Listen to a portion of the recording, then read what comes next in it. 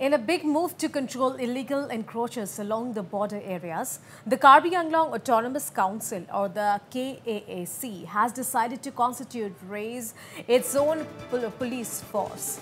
Well, the council will introduce a bill to this effect in its 247th session. The state government will impart arms and other training besides providing arms to the KAAC police force.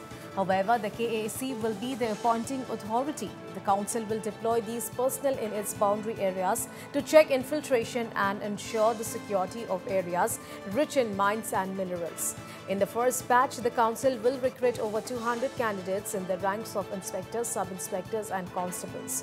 When Karbi Anglong Autonomous Council got sixth scheduled status in 1952, paragraph 3 of the Constitution of India entitled the Autonomous Council to raise its own police force for its towns and villages. However, over the years, neither of those at the helm of affairs executed it. According to the KAAC sources, they are hopeful of getting full support from Dispur in this regard.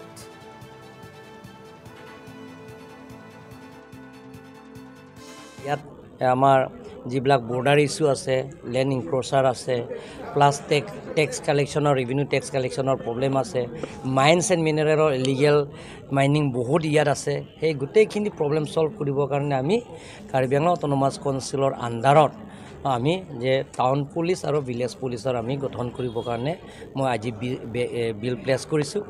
Next bill next ছেশ্যনত আমি two hundred forty seven ছেশ্যনৰ সেই বিলটো আমি pass কৰিম গভৰ্ণৰৰ পৰা assent আহিলে আমি training chaining দিম।